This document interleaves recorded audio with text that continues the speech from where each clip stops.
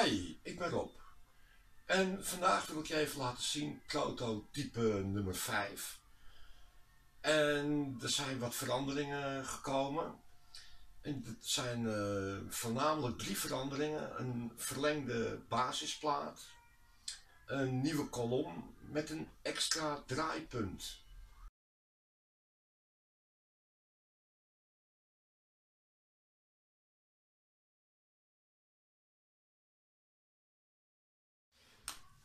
Nou, hier zie je een uh, aantal uh, uh, draadbusjes. Die zitten hier. 1, 2, 3 en nummertje 4. dat zijn draadbusjes M6. En dat is natuurlijk om de voet een bepaalde afstand te geven vanaf de werkstuk. aan de achterkant van de voet, als ik hem even doordraai, die kan 360 graden draaien. Zit hier een uh, bevestigingsbout M6 en die gaat dan in de busjes. Nou, hier zie je een close-up uh, van de voet. En daar zitten nu twee nieuwe scharnierpunten in. En dat is eigenlijk wel handig als die kolom of je machine niet helemaal verticaal staat of horizontaal met de tafel. Dan heb je hier altijd nog een paar graden correctie om hem wel recht te zetten. Of dat je hem in die hoek wil uh, slijpen. Dat maakt niet uit. Je kan hem nog verder laten doorklappen. Dat is ook niet het probleem. Ik had het niet nodig. Ik heb hem een paar graden gegeven. Veil je van de kolom wat meer half rond, dan kan hij dieper. Hier uh, zie je nu het liftmechanisme. En dat is hetzelfde gebleven. Draaien we de draadstang rechtsom, dan gaat hij naar beneden. En linksom, dan gaat hij naar boven. Hier de Nilox, dat zijn borgmoertjes, M6, om het zaakje weer vast te zetten.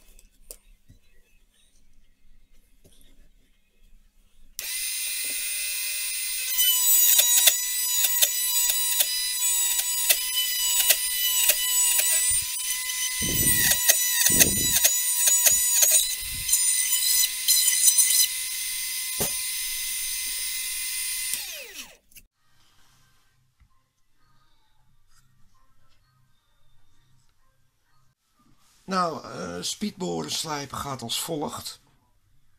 Uh, we hebben hier een uh, aanslag.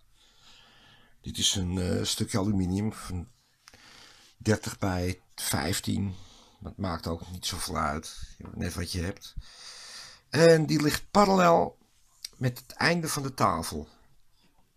Daar rust dit blok tegenaan. Dat is aan beide kanten hetzelfde. Lengte maakt niet uit. Hij komt uiteindelijk hier tegenaan te liggen. Deze beugel komt hier tegenaan.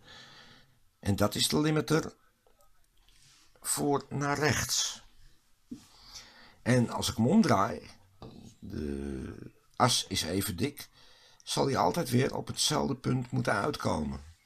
En zo krijg je dus een spiegelbeeldslijping. Zodat beide kanten van de boor identiek zijn.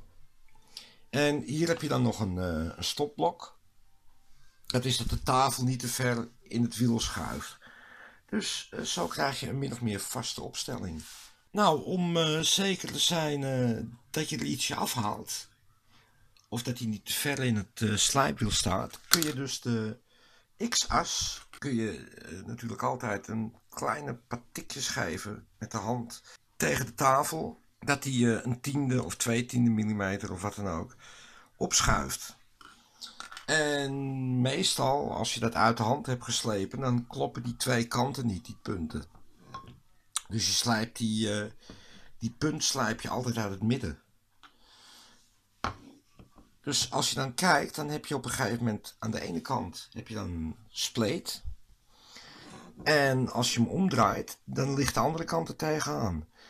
Dus dan is het zaak om de kant die wel tegenaan ligt, om die zoveel mogelijk af te slijpen.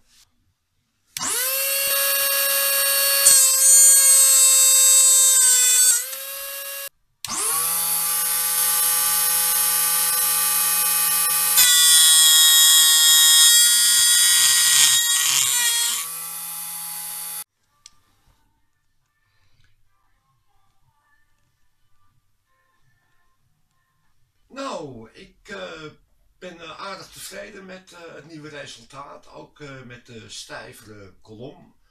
Het werkt veel beter. Ik heb het nu een week in gebruik en ik heb allerlei mogelijkheden geprobeerd. En ik ben er best tevreden over. In ieder geval bedankt voor het kijken en eventueel tot de volgende keer. Bye bye.